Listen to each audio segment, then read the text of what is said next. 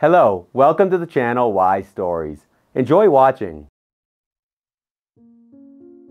The last guest paid, lavishing the waitresses with his snow white smile. Waiting for him to leave, the director closed the facility and prepared to go home. Okay, girls, good work today. Get the tips from the bartender. He commanded and went to his office. It was the janitor Austen's turn, meanwhile. He came to work here three months ago and quickly made friends with the staff. It was because the waitresses liked him. Austen was a young guy of 23 and looked fit, even athletic. Except, he didn't have a good education. He spent his childhood in an orphanage. Sometimes he stayed in foster families, but he didn't stay there long and ran away from his new parents. But he never knew his biological parents. And if at first, he waited for them to come and take him home. After a while, he lost hope and stopped hoping for a miracle. After he left the orphanage, he immediately went to look for a job. But they all required education and experience, and he had none of that. He was offered a job as a longshoreman, but for very little money and no days off. Austen accepted the job because he needed money to live on. But one day, he got a newspaper where he found an ad a janitor needed in a restaurant. The next day, he went there and had an interview. The owner, Mr. Preston Blankenship, hired him without too many questions. That's how Austen settled in, becoming a favorite member of the staff. That night, he cleaned the place more carefully than usual.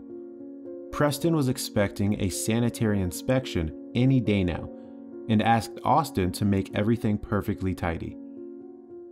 When he had finished cleaning, he put all the garbage in a big bag and took it outside. There was a garbage container, which a special machine emptied every morning. And in general, the restaurant owner, though he was a bit harsh, was still considered a fair employer. He did not tolerate that the kitchen and other rooms were untidy. For that, Preston paid good money to his employees. It was getting dark outside when Austen came out with a bag of garbage. But before he reached the garbage container, he saw a girl on a bench. She was crying, with her hands tightly covering her face. Austen wondered what happened. Coming closer, the boy tried to calm her down. Hey, are you okay? Wipe away the tears. What happened? He said cheerfully, but the girl did not stop crying. Austen walked over to her and sat down beside her after he threw the garbage into the container. He could see that she was very exhausted and was really in trouble. Not only that, Austen noticed her clothes old, shabby, and in some places, torn. In his mind, he immediately thought could it be a beggar or a crime victim? And another thing Austen noted was that the girl was pregnant. Her hands were shaking. My name is Austen. I work here. The janitor began the conversation. And I'm Haley. She answered uncertainly. Austen almost choked when he looked at her. After she reacted to his words and turned to him, he saw a lean and frail creature and that belly that bulged slightly was the only confirmation that she still had the strength to hold on, though she could have gotten rid of the baby. Austen wanted to ask her a question again, but Haley was ahead of him. I'm sorry to be so rude, but I'm starving, and I need something to eat. Maybe at least some bread or anything else. There's nothing left at home. My stepfather drank it all away. I even planned to run away with my boyfriend but he turned out to be a sneaky man. And now I don't have any choice. Well, not an easy situation, Austen said with a heavy sigh. He thought it would be a good idea to feed her. After all, it is possible to take a risk. The guard is asleep anyway. He does it all the time because he's not afraid of anyone. Anyway, Austen decided that nothing bad would happen if he invited Haley into the kitchen. There were sometimes leftovers that customers had paid for but hadn't finished, or simply refused for whatever reason. Taking Haley by the hand, he showed her to the door. Come, I'll get you something to eat. Austen led Haley inside the kitchen. There were some salads and some meat. No one was pushing him. The owner knew Austen might stay late, especially since an inspection was coming soon. So the fact that Austen was still there would hardly have alarmed anyone. After Haley had greedily eaten everything, Austen washed the dishes and put them away. The girl stopped crying and smiled for the first time. Thank you from both of us, she said, stroking her belly. You're welcome. It's just food, Austen said. But don't tell anyone I fed you, or my boss might find me or even fire me. Okay, you don't have to worry about that, replied Haley, and I don't have anyone to tell. My stepfather doesn't care what's going on with me. He's more interested in the booze. In addition to the salads and meat, there were still some cheese delicacies and desserts, and Austen packed them carefully and handed them to Haley with the words That's for later. But don't feed your stepfather. Let him get food himself. You are a magician, said the girl, and tears came out of her eyes again. Don't cry, everything will be all right. Austen reassured her. I am sure that you will have a silver lining in your life. It cannot be otherwise. I hope so too, Haley replied and walked out of the kitchen. Austen stood for a minute, looked around, made sure everything was all right, and left the restaurant too. He had done a good deed that evening. He had saved a pregnant woman from starvation. At the bus stop, out of the corner of his eye, he noticed Haley turning the corner of some dingy gray building which seemed to be where she lived. But the janitor didn't dare catch up with her to walk her to her place. Meanwhile, as she approached the entryway, Haley looked at the third floor windows, where the lights were on, and realized that her stepfather was awake. It looked like he hadn't found any liquor, or hadn't had enough, so he waited for his stepdaughter to come so he could try to get some money from her or tell her to go and find money or booze. He often did this when he wanted to get drunk. At that moment, Haley found herself flooded with memories. And like a projector in a cinema, she replayed all the previous events that had led to this kind of life.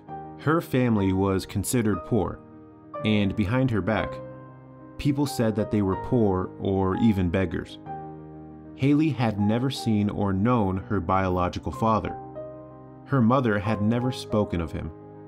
There were no memories of him at home, and there were no pictures of him to give her any idea of him. Her stepfather, Tom, played the role of her father, but only when he needed something and could get something in return. He usually got what he wanted by using physical force, which earned him the nickname the monster. Haley called him that behind his back to distance himself from her stepfather's name. She had no desire to consider the drunkard a human being. On the contrary, she kept suggesting that he was a vile man with treacherous and cruel qualities. Her mother was different. She struggled to provide for her daughter's needs. Elaine lived at work, sometimes forgetting her own needs leaving the apartment early in the morning and coming home only late at night. Haley had learned to cook and clean herself in the meantime, and everything could be all right.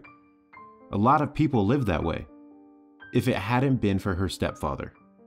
He made Elaine serve him. She was like his slave. One might have thought, why did she even tolerate that? Well, she tolerated that because the apartment they lived in was a gift from Tom's parents, and Elaine didn't have her own place. So she had to put up with this tyrant. At school, things didn't go so well for Haley either. She was constantly humiliated by her peers. and her teachers didn't even try to stop it, but rather watched her being bullied and insulted. She had only cheap and sometimes even old clothes. She ate free lunches in the cafeteria, and other students knew this and laughed at her. Haley had done nothing wrong, except for not being wealthy, but this fact had accompanied her throughout her time at school. She often cried at night, burying her face in the pillow. She thought that if her father were there now, he would take her and her mother out of that hell. At the same time, Haley wasn't angry at her mother, knowing that she had enough to deal with. One day, they were sitting in the kitchen eating porridge, while her stepfather slept. Darling, forgive me for not being able to create good conditions for you, cried the mother, hugging her skinny daughter. Mom, it's not your fault. We're not the only ones who live like this. Haley tried to reassure her. You'll see, surely something must change for us. And one day, there will be no problems with money. Obviously, these were just pipe dreams, but her daughter's optimism gave her mother confidence and hope for a bright future for a while.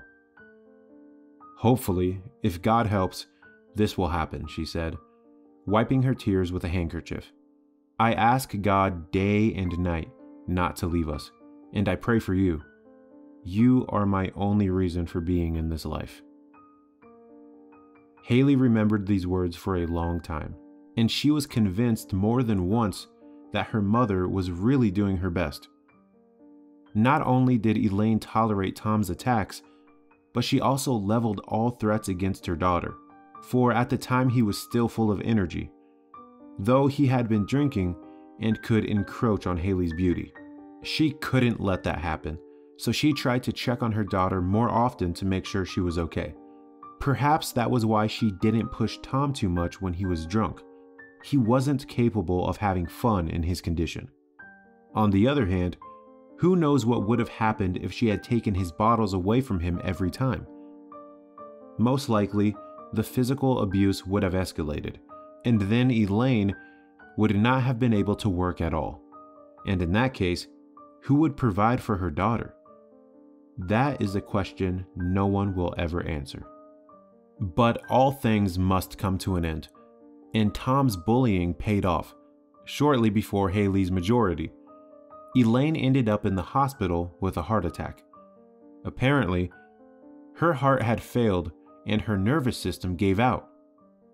The doctors gave no prognosis, only assurances that everything was under control and there was nothing to worry about. Haley didn't know anything about medicine, and she blindly trusted the doctors. Her stepfather, on the other hand, guessed something and smiled wryly when they visited her in the hospital. This went on for weeks, until one dreadful day, Haley was told that her mother passed away. She had passed away in her sleep. No one in the hospital even noticed, and it wasn't until the morning when the nurses came in to give her shots and put her on drips. They didn't give a damn about Elaine's health and treated her indifferently. With the help of concerned neighbors and some of her relatives, they buried Elaine. Haley then grieved for a week, unable to believe that her mother was no longer with her. She saw her in her dreams, thinking it was real and didn't even notice her stepfather's grunts, as if he hadn't existed at all. That day, her whole life nearly fell apart. And when Haley came to her senses, she decided to change her entire existence. Sometime later, she met a guy, or rather, he came up to her in the park and started the most casual conversation. Hi, why are you sad? Maybe we could be sad together, the guy suggested. My name is David. Hi, she said. Nice to meet you, and I'm Haley. Well, if you're not in a hurry, we can take a walk. Together they walked to the lake with the beautiful swans.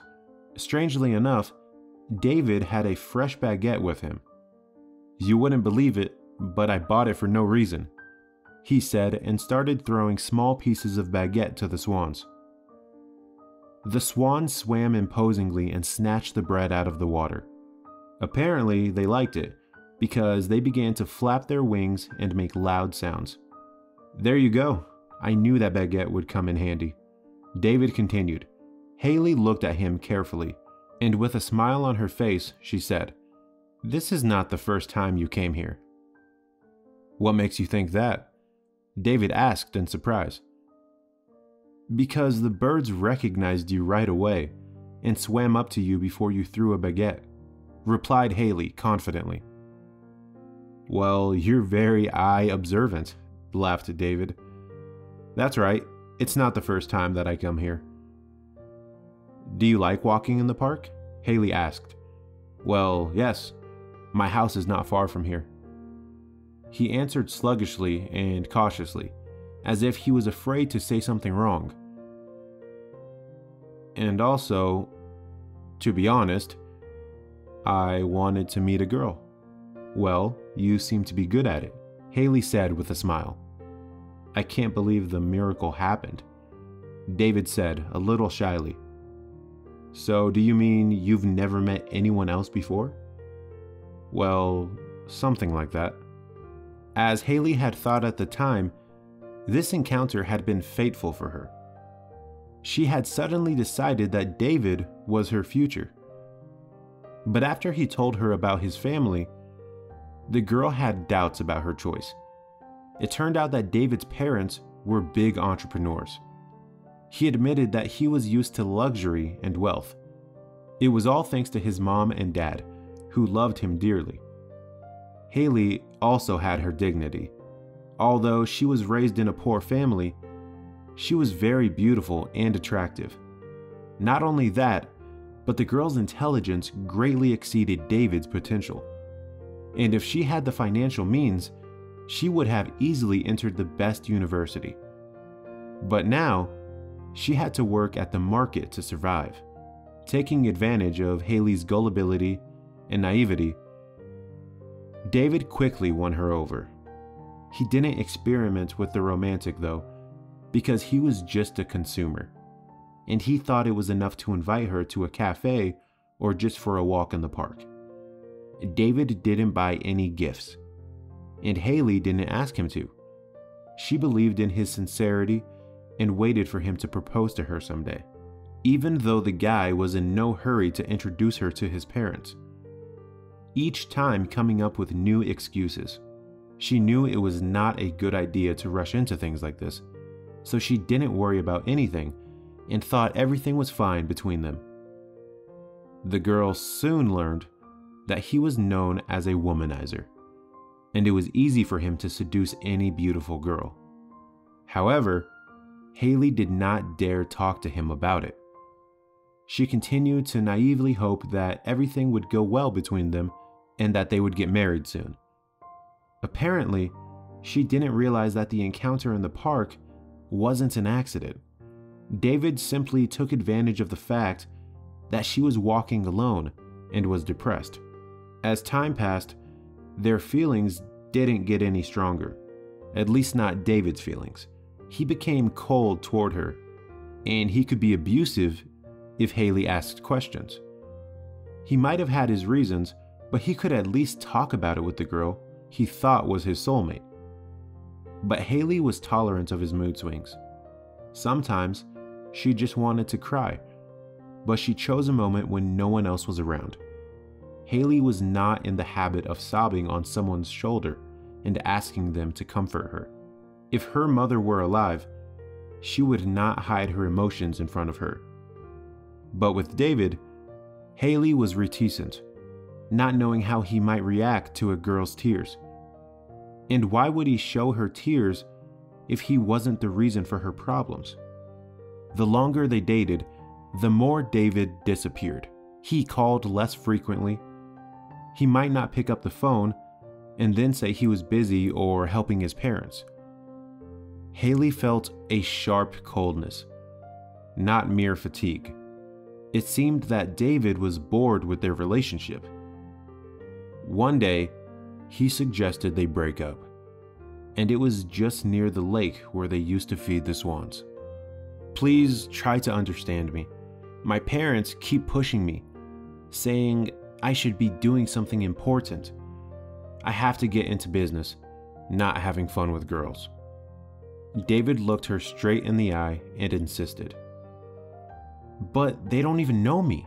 Haley was shocked. What are you talking about? Do your parents even know who you spend time with? No. I thought I'd tell them later and introduce you to them. It was obvious that David was lying, and he didn't even try to hide it. It's clear. You played me. You got bored and decided to leave me, Haley stated. At that moment, David was ready for her to slap him in the face and make a scene. But she didn't.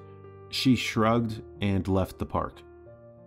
She kept her dignity and did not make a scene.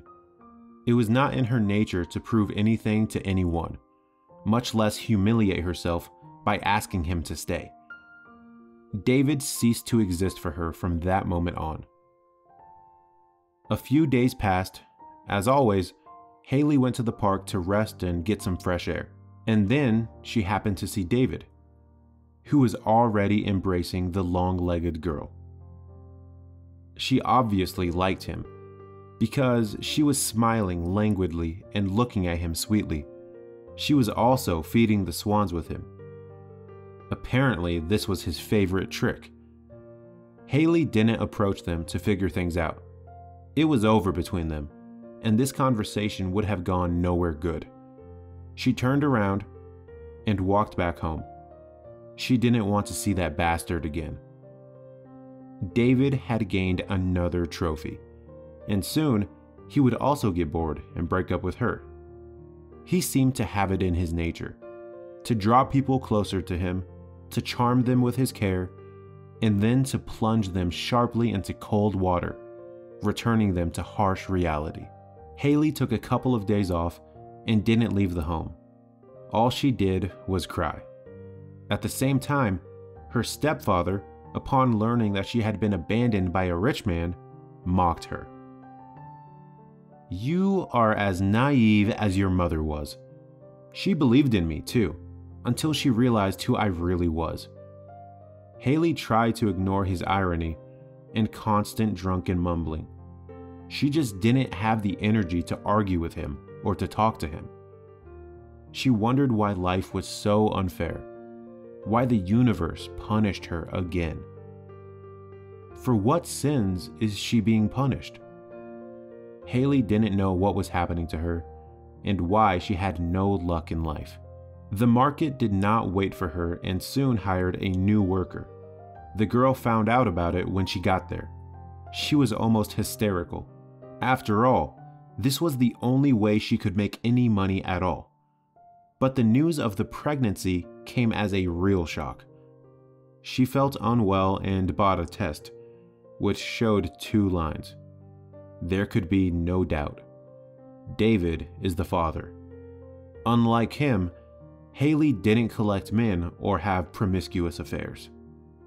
But at the same time, she had to figure out what to do next. Her stepfather was not to be relied upon. He would have done nothing to help her anyway, except abuse her even more. No, Haley couldn't let that happen, especially since she wasn't going to give up the baby. She planned to get out of that hell and start a new life. But the trouble was, no one would hire a pregnant girl. No one wanted to get into such trouble and hire a girl who was about to go on maternity leave. She almost lost her mind when she found herself in such a miserable situation. But she pulled herself together. She had no money, so she had to humiliate herself and ask people for alms. She had no other choice. Also, her stepfather was constantly asking her for money for booze and cigarettes and he didn't care at all where she would get it. And if she tried to argue with him, he threatened to kick her out of the apartment. Where would she go in such a situation?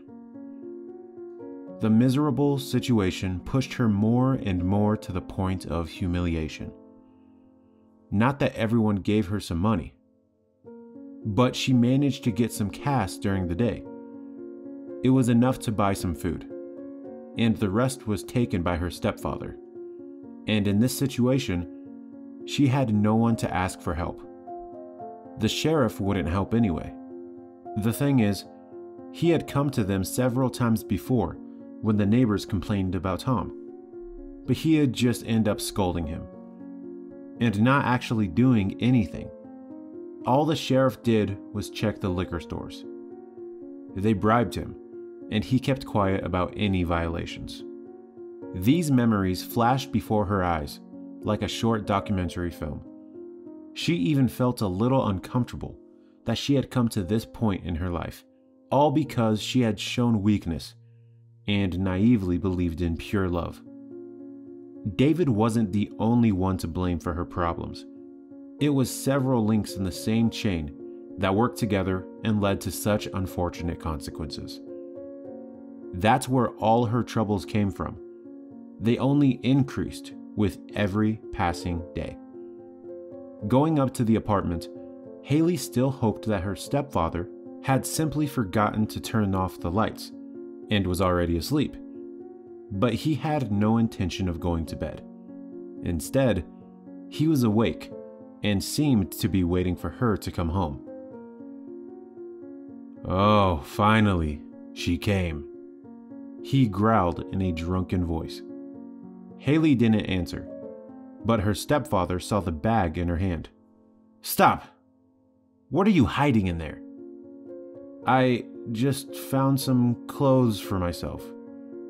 Haley answered uncertainly and shook with fear. Let me see. Her stepfather pulled the bag from her. He checked the bag and smiled. Good girl. You brought Daddy some food. Haley had nothing to say. She went to her room in tears. All night long, she cried into her pillow, thinking about her mother. The whole world seemed to turn upside down at that moment, and everything Haley had hoped for disappeared into oblivion. Her stepfather had become even angrier since he wouldn't share this food with her. And after all, she was pregnant, and she needed to eat for two. But no one thought of that except her. The next morning, Austen arrived at work. But as soon as he had changed his clothes, the owner of the restaurant called him to his office. Everything inside him went cold at the thought that now Preston was going to scold him for not complying with the regulations. Austen realized that apparently the guard had seen him take the beggar girl into the kitchen and reported it to the chef. That was it. Now he could not only lose his bonus, but he could also be fired. When Austen knocked on the boss's office, he heard, Yes, come in. The janitor opened the door and poked his head in. You wanted to see me, Preston? Come in. We need to talk. Preston said, holding the phone near his ear. Austen sat down on a chair and waited until Preston finished his conversation. After a couple of minutes, Preston disconnected and stared at him with both eyes. Do you have any idea what I want to talk to you about? Preston, I swear, I only gave her the leftovers. Preston, I swear, I only gave her the leftovers. Austen answered guiltily. Wait, that's not what I was talking about. I'm not interested in the leftovers at all. Preston stopped him.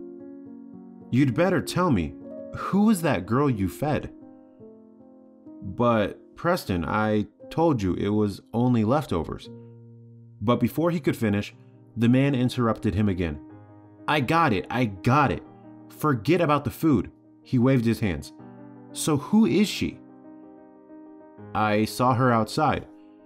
The girl was sitting on the bench, crying. Austen began. I felt sorry for her so I offered to feed her. By the way, she's pregnant, but I don't know which month. The owner got up from his chair and walked around the office. He looked worried about something. Preston looked thoughtful and paced from corner to corner. Meanwhile, Austen sat quietly in his chair, waiting for further questioning. But the owner did not torture him with questions anymore.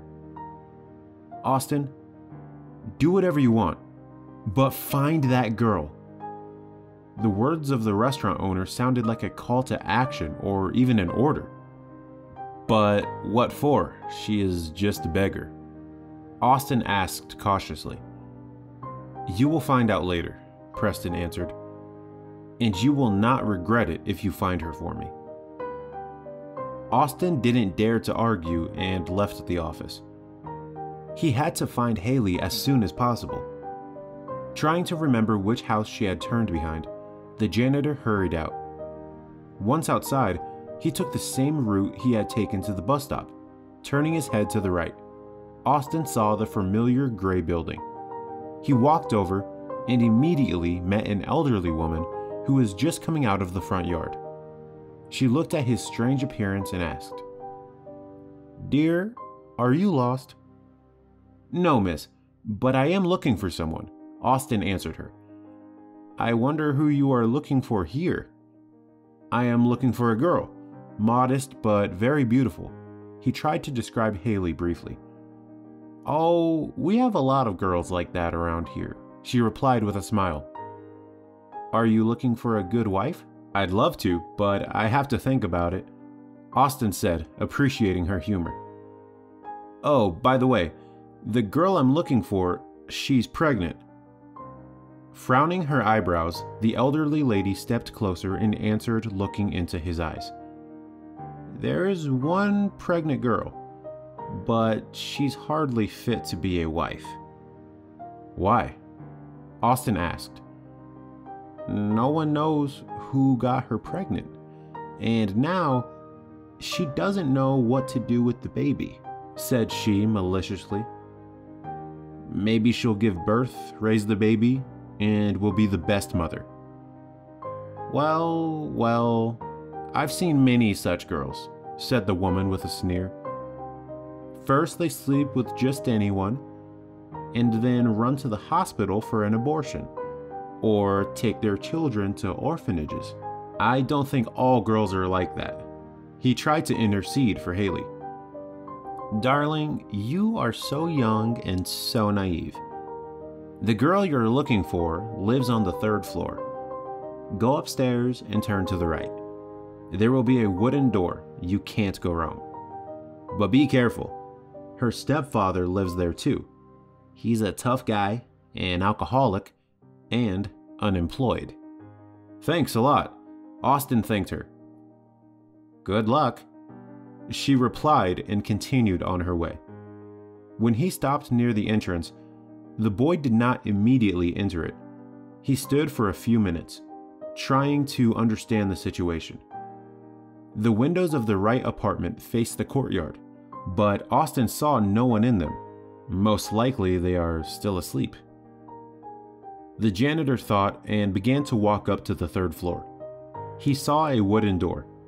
It was all mangled with some sharp object. Apparently, it had been poked with a knife or a small axe. Remembering what the woman had said about Haley's stepfather, he thought that his friends did that to the door. Knocking on it, Austen waited for an answer. A shuffling sound was heard, followed by a coarse, unpleasant voice. Who's there? The door opened, and a shirtless man with messy hair stood on the threshold. Who are you? And why do you need Haley? He asked even more angrily. I'm her friend, and I'd like to talk to her, he said, still calmly.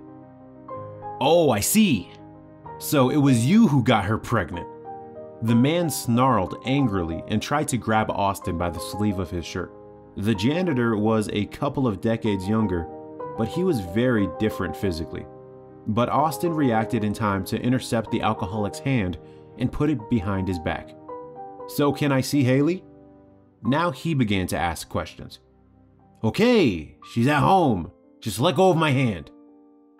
The alcoholic wailed. Austen slightly turned him around and tossed him aside. Tom fell a meter away and rattled on the empty bottles, which immediately rang through the staircase. When she heard the noise in the apartment, Haley thought it was her stepfather's friends again, but she just didn't have the energy to get out of bed, so she just asked, What's going on? Austen heard her voice and headed toward the back room. And as soon as he opened the door, his jaw nearly dropped. He saw the girl lying motionless on the bed. She looked like she was preparing for her own death.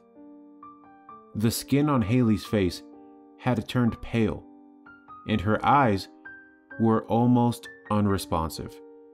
But clenching his fists, Austen did not do anything more to this alcoholic. He walked over to the bed and ran his hand through Haley's hair. I came to get you out of here. Austen cried as the girl turned her face towards him. Haley smiled, but she was so weak that she couldn't even show how glad she was to see him again. Dialing the cab number on his phone, Austen said the address and asked for a car in half an hour.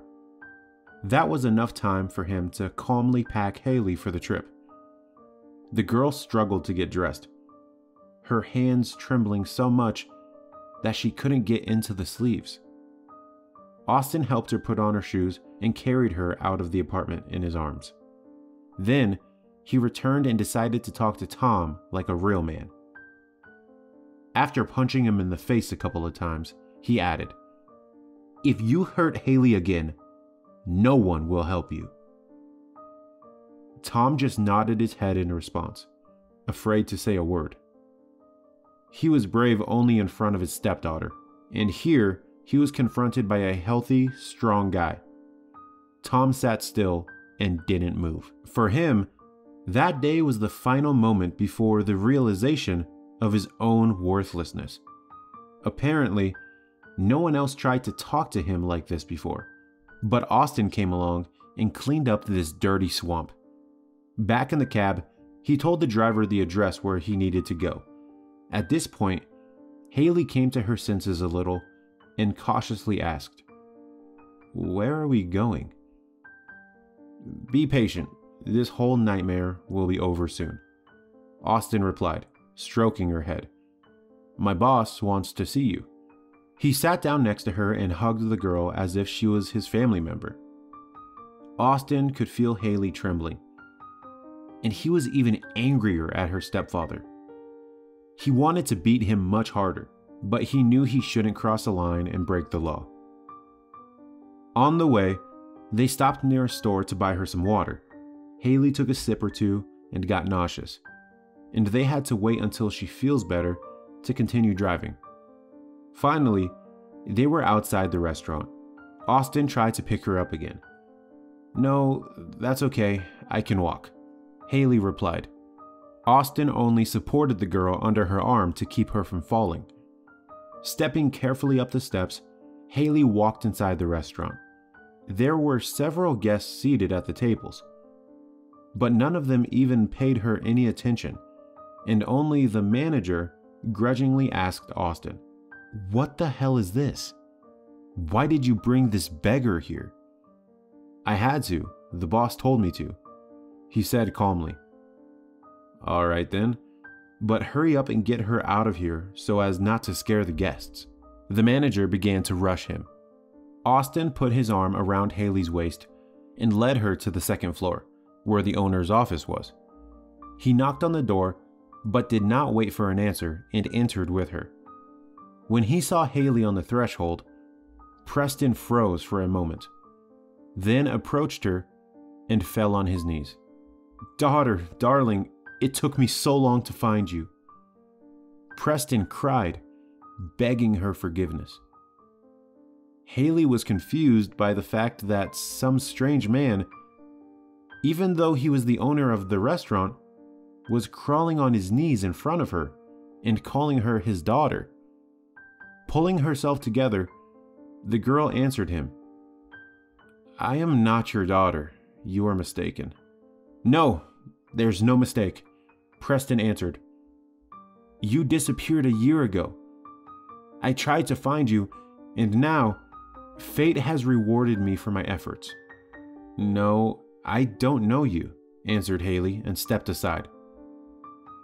Austen was standing behind them, but he wasn't going to do anything, and he wouldn't stop the girl from leaving.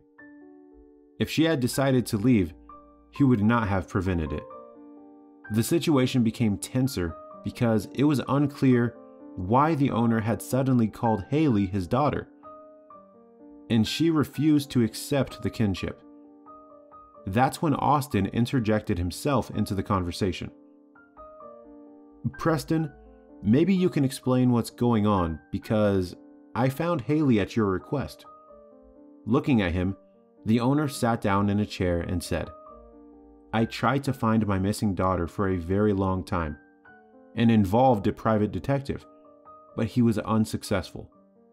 I seem to have lost all the strings that led to my daughter. You don't have children yet, but when you do, you'll understand. How did it happen that she was missing? Austen asked.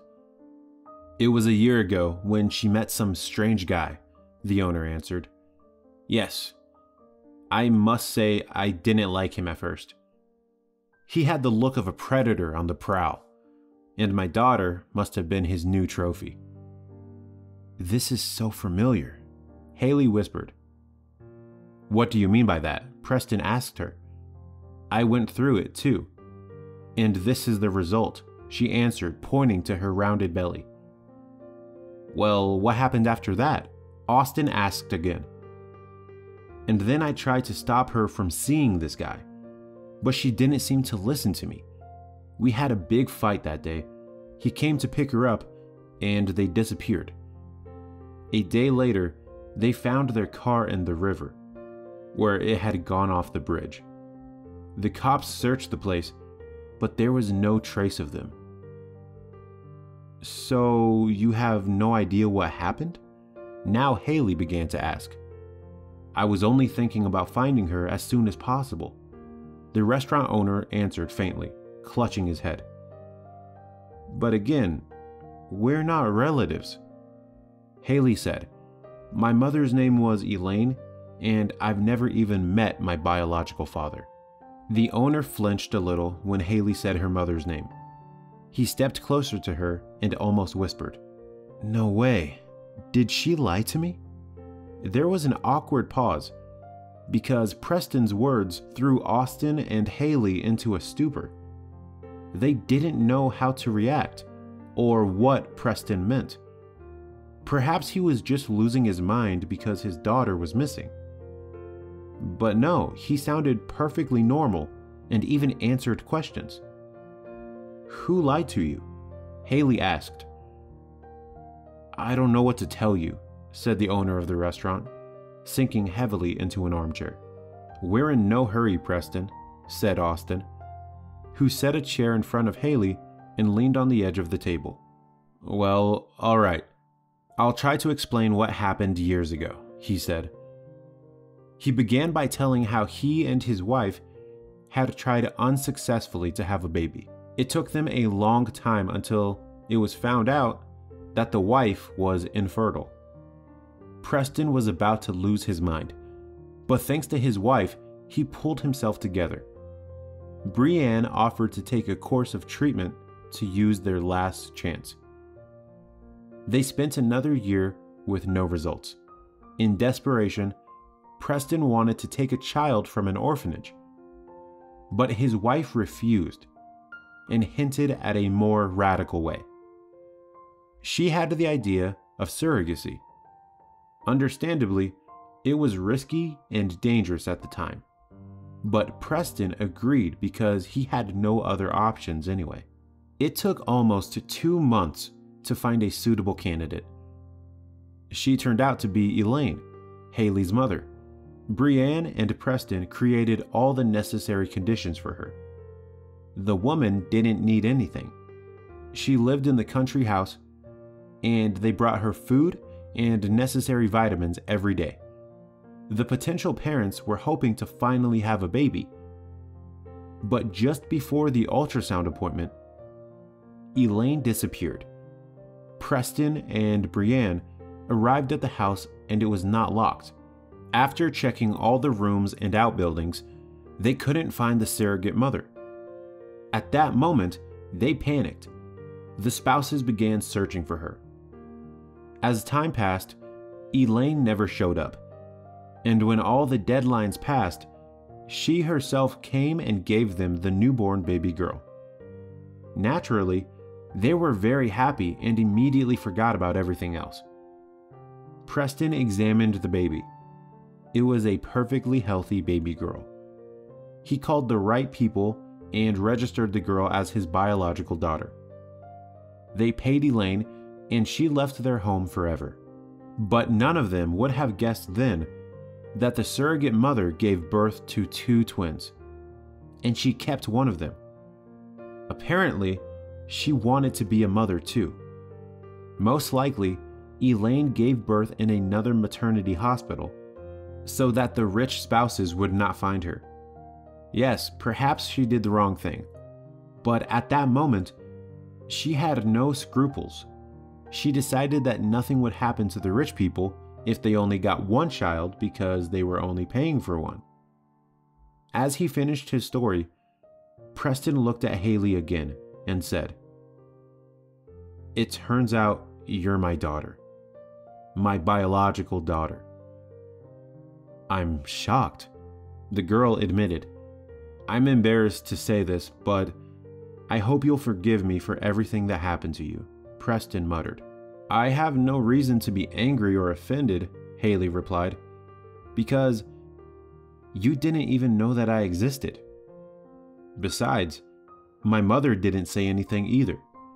And now, I understand why she spent her whole life to make my life at least a little better. But on the other hand, I don't know why she didn't dare to come to you, even after all these years. I'm sure you wouldn't have refused to help her. Of course, Haley, I wouldn't leave your mother alone with her problems. Preston said, putting his arm around her shoulders. But I really didn't know she had twins. My wife and I were too happy and we didn't think about checking it out. When we saw our baby girl, we just couldn't think about anything else. Don't. It's not your fault, Haley reassured him. The girl didn't try to pull away because, no matter what, her real father was standing in front of her right now. When Austen was sure that Haley was in no danger and that Preston was glad he had met her, he suddenly asked, What about your other daughter? Preston turned gloomy and answered confusedly, I have searched everything. There are no results. So what? You decided to leave it like that? Austen continued to ask. You know, replied the owner, I've been getting the feeling lately that my daughter is no longer alive. Ashley must be dead, and I am comforting myself with empty hopes. Crying, Preston sat back in his chair. He sobbed like a little child, but neither Austen nor Haley calmed him down. On the contrary, they decided that it would be easier to talk about anything after letting him express his emotions. Finally, the restaurant owner calmed down, and at that moment, someone knocked. Yes, come in. Preston, do you need any help? It was the manager. No, Tyler. You'd better go back to your duties and don't distract me. He said angrily. Austen looked at him with a smile as his eyes twinkled. Tyler, we have important matters to deal with right now. The janitor's words sounded like irony, but the manager did not respond to them. After assessing the situation, he realized that his presence was really unnecessary now. The manager closed the door and Preston continued. Okay, Austen, it's your day off. Why? In the middle of the work week? I'm the owner here. It's up to me to decide when you can have an extra day off, said Preston. Well, here are the keys to the house. I'll text you the address. Take Haley there to get her cleaned up. Oh, I almost forgot. Take the money. buy her everything that she needs, and feed her well. Austen got the keys, a note with the address, and the money from Preston. He helped Haley to get up and led her through the main restaurant hall. Preston's driver took them to the house. The janitor expected to see Preston's wife there, but there was no one inside. After placing the grocery bags on the table, Austen led Haley into the bedroom. Here, the closet is here. There must be some of his daughter's clothes, and since you're her twin, you must have about the same size. Leaving the girl to change, he went to the kitchen to cook something. Meanwhile, Preston went to the detective he had hired to find his daughter. Hello, Morgan, he said. I have both good and bad news. Good afternoon, Preston, replied the detective. Well, let's start with the good news. I found my daughter, but not Ashley. The other daughter, said the restaurant owner. What do you mean, not Ashley? Who is she? The detective asked in surprise.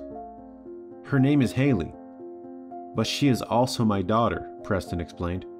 So you had two daughters? said Morgan thoughtfully. I didn't know anything about that until today, and I'll be honest, I was a little shocked. It looks like Elaine kept her second child and didn't tell us. I got it, replied the detective. Well, what's the bad news? At that moment, the restaurant owner bowed his head and cried. His palms were clenched into fists, and he looked confused. Morgan, I think we should stop looking for Ashley, he suddenly suggested. I don't think Ashley's still alive. If she were alive, she would have shown up long ago. Most likely, after that accident, her body fell into the river, then was carried away by the current. And there are wild animals. And that's it.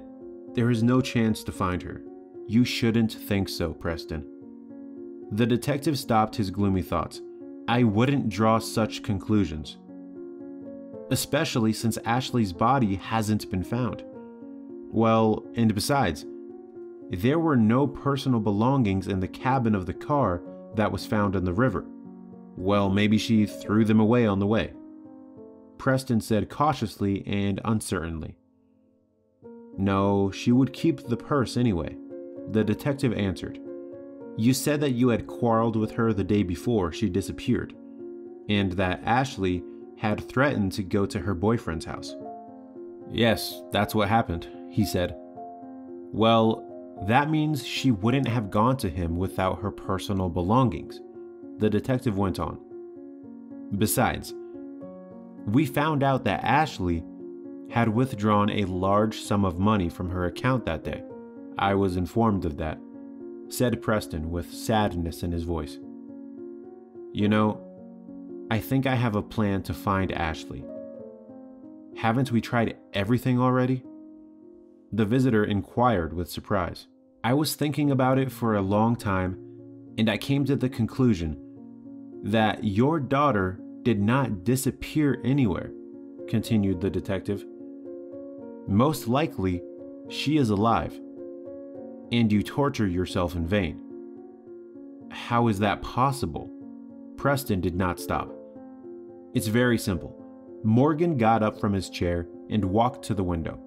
In my practice, there was a case when a woman came to me. She was also looking for her daughter, who had disappeared. I created a plan, involved the right connections, and spent a lot of time. And what? Did you find the girl? Preston interrupted him. Yes, we found her, answered the detective. But it turned out that this way she wanted to teach her mother a lesson. The girl deliberately ran away from home just to be with the man she loved. They had been hiding in an old woodman's cottage out of the city for several months. And that's where they were found. They said they would return home after a while, so you think Ashley might have done the same thing to me? Preston asked, not believing what was happening. Everything is possible. I don't rule it out. Morgan answered quietly. This is why I suggest a unique plan. There will be a report on TV that your daughter has been found, and your photo with Haley will be published in the local newspapers. But that's not exactly true. The restaurant owner wanted to object. Listen to the end, please. The detective objected. Yes, I'm sorry, Morgan. I just still can't come to my senses. And you're right. Haley is my daughter too, and she looks like Ashley. Exactly. No one would notice the difference, exclaimed the detective. Haley's pictures will be in all the newspapers. But she is pregnant. That's all right. Your daughter disappeared a year ago. No one knows what happened to her during that time. That's right. Anything could have happened during that time. Preston agreed with the detective. Anyway, I'll take care of the newspapers. Do you think it will work? Preston asked, hopefully, just in case. We don't have any other options. I think this should work in your case. The detective reassured him. Morgan wasn't sure about his idea, but he had to try it, especially since he had no other options left anyway. That same day, he arrived at the publishing office where his friend worked. Hey, John, can you do me a favor? Again? Do you want me to do some publicity for yourself? No, I need to publish this article. The detective gave him the text, and Preston had already sent him the full length photos of Haley by email. And who is it? Do I know her? The editor asked sneeringly. Well, of course you do. It's Blankenship's missing daughter, replied the detective with a slight smile. Come on! Has she been found? John wondered. That's right. And the rich daddy wants to share this news with the whole city. Well, who cares? Just take the money and go ahead and post it. Morgan interrupted him sharply. All right, whatever you say, said John. A couple of hours later, a report was shown on TV. And by evening, the newspapers had already published an article. The detective had done his best, and now all they could do was wait. The waiting depressed Preston, for he continued to think that Ashley was dead, despite the detective's statements. Haley was worried too, for if the plan worked, she would have to meet her twin sister. She tried to think of what she would say to the sister she had never met. But Haley didn't know where she would begin. Austen offered his support in this endeavor. Don't worry, the main thing is to find her, and then you'll find common ground with her. I hope so, Haley said uncertainly. I'll be there for you, Austen said, winking at her. In the time they had known each other, the guy got used to the girl. And after Haley had cleaned herself up and changed into new clothes, it was hard to call her a beggar. All that was left of her former life was a skinny body and a rounded belly. And if you didn't look too closely, Haley was no different from Ashley. As Preston said, she had been the same shape before she disappeared. Everyone waited impatiently to see if the article would work. As the detective said, if Ashley is alive, she will show up soon. If she's not imprisoned or something like that, she can't ignore such news. As a result, two days later, a miracle happened. Ashley was found. Preston was just chatting with a detective in his restaurant when his phone received a call from an unknown number. Hello? A moment's pause. And the restaurant owner dropped his cell phone on the floor. It's Ashley. She's alive. He muttered and almost fainted. Luckily, the detective managed to catch him and pick up the phone. Ashley Blankenship? Are you all right? Yes, I'm fine, said a gentle voice on the other end. And who is this? I'm Detective Morgan Page. Your father hired me, he answered. I see. Tell him I'm all right and I'll be there soon. Ashley muttered and disconnected. Well, what did she say? Preston asked, looking at the detective with crazy eyes. We must wait. She promised to come back soon, replied Morgan calmly. In the evening, a white car stopped outside Preston Blankenship's house, and Ashley got out, accompanied by a young guy. They were holding hands, which indicated that there was a relationship between them. Preston came out to meet them, leaving Haley inside. Daughter, what have you done to me? Why? Crying, he tried to hug her but ran into her rounded belly. Daddy, let's go inside and I'll explain everything. Or the neighbors will see me, she suggested. I feel so ashamed I shouldn't have done that. In a minute, all three of them were sitting in the living room. Preston couldn't stop looking at his daughter. He hadn't seen her in over a year, but it seemed like an eternity. Ashley, on the other hand, acted calmly as if nothing had happened. I'm sorry for what I did to you. She began to apologize. I just wanted to live with Lewis, and you wouldn't let me because he's from a poor family. Besides, I'm pregnant and we're expecting a baby. I'm sorry, honey. The father answered tearfully. I just wanted you to be happy. Yes, I understand that. But Lewis is my happiness, and you didn't even try to listen to me, Ashley said. I didn't think he was a decent guy and that he was serious about you. Dad tried to justify himself, and you didn't even give me a chance to think about it. Well, what was I supposed to do in that situation? You're right. You might not have had any other choice. Ashley answered. If Mother had been alive, you would have found a compromise with her. Yes, Brienne knew how to find the right solution. He agreed. We've been living in another city all this time. Lewis suggested we stop hiding and go home. But you know me, I'm stubborn. Yes, you have my temper her father said with a smile. I was out of control when I was your age, too. My parents couldn't cope with me and often sent me to my grandmother for re education. So she kicked the crap out of me. I'm sorry again, Dad, Ashley answered, hugging her father. Don't be mad at me, please, Lewis said. Come on, let bygones be bygones, Preston replied. Well, now tell me whose picture was in the article, said Ashley with a mysterious smile. Well, I'll introduce you to her in a moment, Preston said and went off to the back room. A minute later, Haley came out, accompanied by Austen. Ashley rounded her eyes and whistled. Wow, she looks just like me. Is she an actress? No.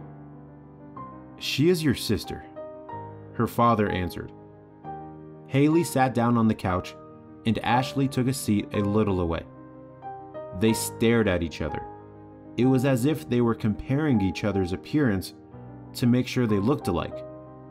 Finally, Ashley couldn't stand it and hugged Haley. Sis, I'm so glad we found each other. Tears came pouring out of her eyes. And I'm glad too, Haley replied, crying with her in unison. Austen, Lewis, and Preston went to the kitchen to give them a chance to talk privately. Preston, I mean, Dad, has already told me everything, Haley said. My mother gave him and his wife one girl, and she kept the other. The sisters told each other how they had lived all this time, and it turned out that their fates were similar in some ways. There was a constant emptiness in both of them, as if they intuitively suspected that their second half was nearby. Not in the sense of a fiance, but in the sense that they had no opportunity to fully enjoy life. It is not for nothing that they say that twins have a spiritual connection, and they felt each other at a distance. Thus, Preston found two daughters at once, and both turned out to be pregnant as if they had agreed on it beforehand. Overjoyed, Preston allowed Ashley to get married to Lewis, even though they were already living together. But for the relationship to be serious, it had to be formalized. As for Haley, she was surrounded by attention and care from Austen. For almost a month, each of them felt some new feelings until they realized they were made for each other. Especially since Austen has done so much for her and has actually become a family member during this time. And he honestly admitted that he fell in love with Haley and had no intention of giving her up.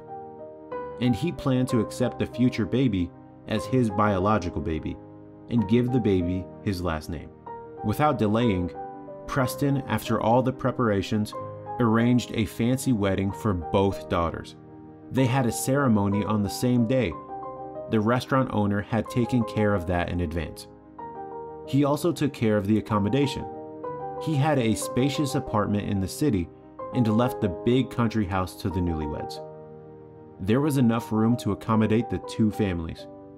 After the wedding, they all moved there together. Preston made Lewis his personal assistant and transferred Austen to the security department. The boy asked about that. He just remembered the time he had taken the beggar woman into the kitchen. Also, Preston asked Haley to show him where her mother was buried. He decided to honor her memory. Then, he and Haley drove to her stepfather's house. The man, in his drunken stupor, didn't even realize who was standing in front of him. When Preston told him that Haley wasn't going to live here anymore, he realized that now he had no one who could bring him money and booze. He started yelling and cursing. There was nothing more to talk to him about. Haley and her father left this terrible place. Now she has a new life. Ashley and Haley were getting ready for childbirth, buying all the essentials for the little ones. If you're enjoying it as well, leave a like and subscribe to the channel.